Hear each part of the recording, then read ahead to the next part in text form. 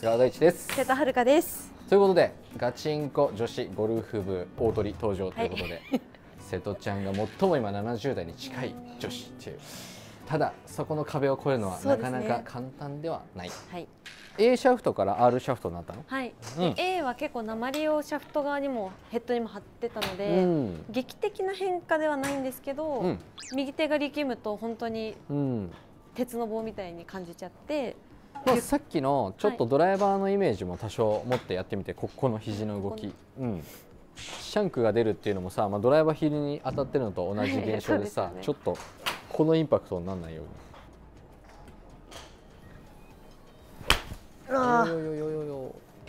なかなか重症でございます、はい、それ今さ瀬戸ちゃんやったこのさ持ち上げるひねるここから打つっていうドリルできる？左手は突っ張りすぎないように注意ねこうたわんたわんでくる感じ。両肘が少し曲がる、うん、ひねる、うん、戻す、うん、このドリル。上げてひねってゆっくり戻す。そう。このドリルをしっかり完成させる、はい、戻す時にちょっとヒール当たるシャンクするようだったら間隔が空いたところをしっかり引きつけるようなやっぱり感覚。そう。隙間が空いたこのスペースをしっかり真下に手をこうボールに向かわせないようにね、はい、まあ、同時にくっつけるっていうのはお腹が左に回る左下におへそが向く動きでちゃんとくっついてくる。これが後ろにありすぎて切り返す時に前にこう手が入ってきちゃうから回れ右した時に正面にあるこのポジションから下にストーンって動けるように、そうそうそうそうそうそう、ゆっくり後ろに行き過ぎない。そう。そうそうそうそうそうそれで OK よ下でちょっと良くなった。ドライバーに比べてアイアンの方がこう横に動かしてるよりかは縦に動かしてる要素もしっかり入ってくるからまあこう体こうスウェーしないんだけど、はい、グッグッこの上下にちょっとこう筋肉をやっぱり引っ張る縮める、ちょっとこう回転の要素が強くなりすぎちゃうとさっきのこう前にいっちゃうからね、はい、どんどんどんどん。横振りじゃなくて縦。まあここ数か月割とウッド系を多く練習してきたからね、はい、その少し代償って言っちゃあれだけど。そうですね、うん、そしてちょっとグリップがそっちのちょっと長く持ってるからもう指1本分短く手の付け根の小指の付け根の下のこの全体で支えてあげないとこうクラブを押すっていうのは、はい、揺れるからやっぱ長く持ってる分こうやって遊びやすくなるから。面で持ててるっていうよりかは結構ギュッてここに。それはいかんですね。そうですね。それはいかんです。指を軽く曲げて一回力抜いてよ。そう。軽く曲げてはいこれで持ち上げる。そう。こんくらいわかる？このあんまり握る力いらない。そうですね。引っかかってますちゃんと。こういうこう握りしめる力いらない、うん、こう触って挟んで極端に言えばさ、はい、これで持ち上がるからクラブが。ここのお肉のところそうそうそう。こここれがベースね、はい、でまあクラブが回んないように引っ掛けて挟むけど最初はこう掴んでなくてもこれで持ち上がるのが左手の押すの部分、はい。まあ、一緒に回れ右したらまあ、そこまでこう手自体は右にこういかない感じ、うん、一緒に回っていく正面から外れない感覚で触れるといい、はい、この距離感が変わらないように、はい、こういう腰から腰のちっちゃいスイング。ここ縛られてると思ってここね、はい、これで打つ感じですうん、それで腰から腰でアプローチするみたいな感じそうそうそうそうそうそう、うん、手をちょっとね封じて。封じて。右手を封じて、右手封じ。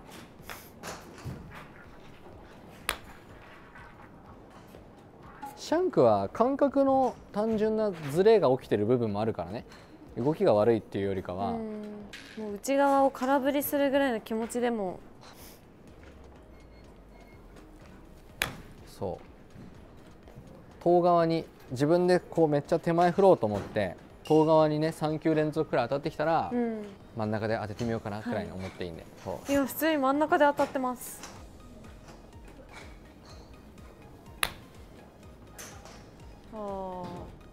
でもうちょっとやっぱ改善ポイントは、はい、やっぱりクラブをこうやってフラットって言って横に振っちゃうからそこはもう少し体の常に正面にいる感覚ね。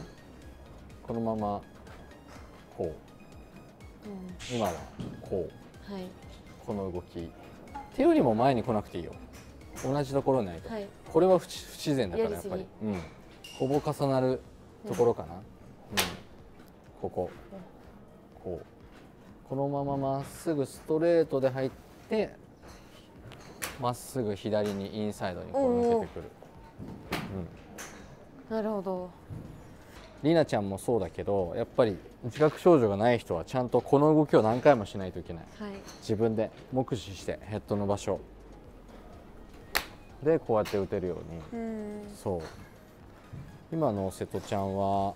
こういう感じでやっぱ開いてってるフェースがね。クラブと手がさやっぱり前にこう動いちゃうから、はい、自分の方に引きつける動きはやっぱできてなくて、はい、こう動いちゃったらもうどんどんどんどんこう、うん、こっちに当たっちゃうからね。そうそうそうそうそうそうそう。そうそのまま。うん。おはい行ってみよう。ラスト、はい、行ってみよ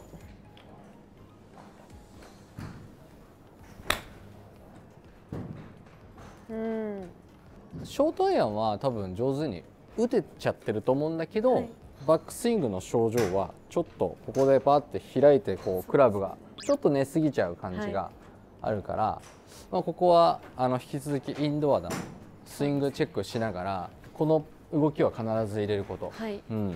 えーと、パターン1はちゃんと水平で止めた時に右肘がちゃんと曲がってることね。でかつお腹の正面これ。ドラあのアイアンの場合は、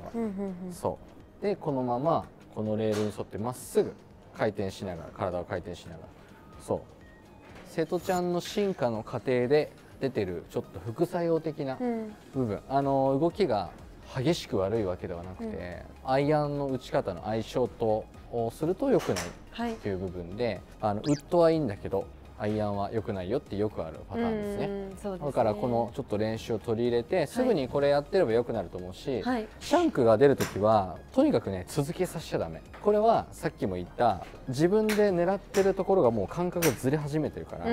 動きが悪いんじゃなくてちょっと本能的な部分でやっぱりボールにこうぶつけに行く本能が強まってきてずれてるから、はい、これはもう空振りするつもりで振ってみて、うん、ちょっと先っぽに当てていく。当てていくっていう、はい、でそれで先っぽ当たってきたらもうちょっと真ん中で当てようっていうふうに切り替えて、うん、シャンクはね3回続いたらもうそれはもう癖になってるから要注意、もう絶対にちっちゃい動きでもいいから、パーンってシャンク出たらさ構えを普通にしてもうゆっくりな速度でいいからこうやって先っぽで当ててみるまっすぐ構えてちょっとこうやって先っぽ、はい、でこういうちょっとねあの感覚を変えるトレーニングというか器用さを持ち合わせておくと、はい、そんなにスイングを別に変えなくてもとりあえずシャンクは出ないよねっていうところにはできるから、はい、こういう練習も取り入れつつちょっともう一回基本練習取り入れるとすぐに良くなると思いますんで、ありがとうございます。はい、細かい今日のレッスンとしては、うん、やっぱりグリップのちょっと力感だったり、はい、腕のちょっと肘の外旋内旋の度合いだったりアイアンはちょっとクラブを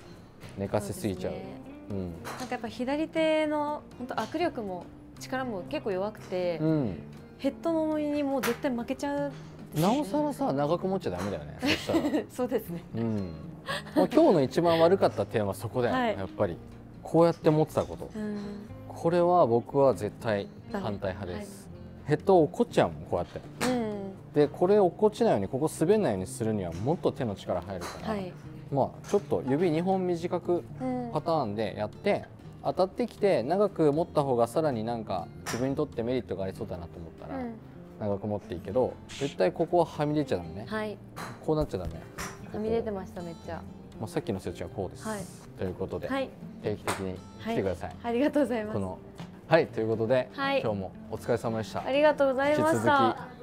今年中の70代に向けて頑張りましょう、絶対出します。ありがとうございました。ありがとうございました